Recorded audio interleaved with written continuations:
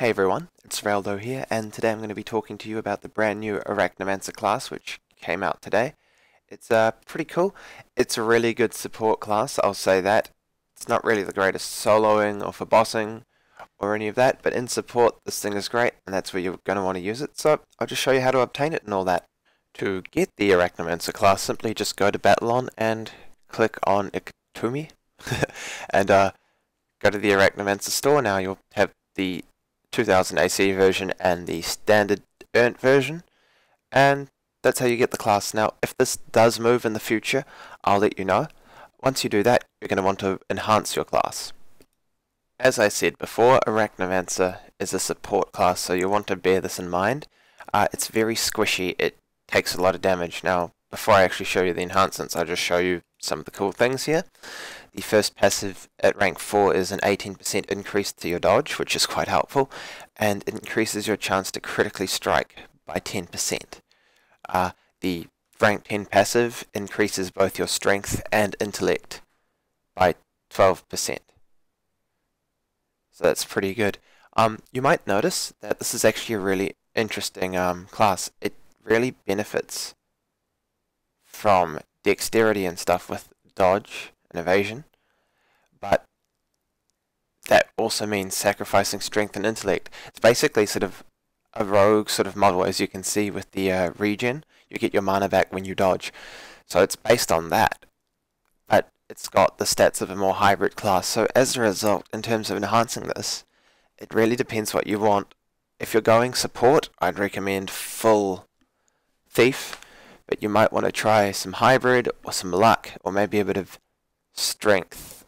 I mean, fighter or wizard specifically, so it just depends on the use. If you're going alone and want damage, probably best to go with some luck and some fighter and wizard. But if you're going support, which is what I recommend, make sure you uh, you manage to go uh, full thief. Uh, because this class is so squishy, this also depends on what you want to do. You'll either want to go with health vamp, and use that to cover your weakness since this class doesn't have a wheel, uh, a heal. Or you'll want to go with Mana Vamp because you'll run out of mana a lot with this class. Personally, just for this video, because I'm going to be alone, I'm going to go with Health Vamp. And I will be using a stable damage range just to give you the average damage. So just a reminder, this is after the rank 4 and 10 passives are in place, so you'll be a little weaker when you initially get this class. Uh, but yeah, and I am using stable, and you can change that to unstable if you want. The first move is basically your go-to move for stacking a bit of damage. It's called Venom Fangs, and it applies a small damage over time, and it stacks six times, so uh, it does uh, get stronger. I just reminded this class attacks faster than most others.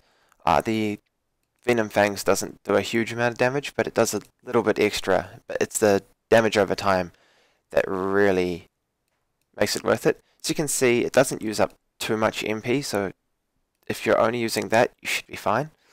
You've got a second move here called Slingshot Web. That's a bit more expensive. It's basically a guaranteed crit, and it increases the amount of damage you take, so beware when using this. Um, it also applies a second damage over time not quite as strong as the first on full stack, but it's still a second damage over time, and that's helpful. Uh, so you're getting the idea. The third move is uh, interesting. It doesn't actually do much on its own, but it's quite nice. It's got a 35% chance to stun your opponent for 3 seconds, and you're going to need that. There you go. Uh, but it also doubles your damage over time, as you may have seen and that is especially handy. Uh, not only does it double your damage over time, but it doubles the damage over time that your allies do to that target. So Dragon Shinobi, Rogue, any any class with the damage over time, they will also have their damage over times doubled. So you're seeing how this support class works. Uh, yeah, and it works with both of yours. You've also got your uh, final move. Now this is bit scary because for one it actually makes you do double damage as you can see but it also does double your damage over time effects and then if you look carefully, that actually doubles the double. So these two multiply. So you're doing, as you saw there, a times 4 damage over time. Now, in increasing your damage output by 100% or doubling your damage output, you actually make yourself more vulnerable to damage. So you will be taking 50% extra damage. Uh, which isn't too bad. And when you think about that, this affects your target. So anyone else attacking this target will also be doing double damage. So as you can see, for damage over time classes and classes in general, this is a pretty good support class.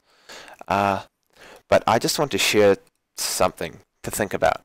Use this class with Dragon Shinobi. Uh, I have managed to use Dragon Shinobi to get a 50k dot. Now that will be very hard to achieve, but uh, think about it. Dragon Shinobi has that stacking damage over time at the beginning, and you can get that up to 3000.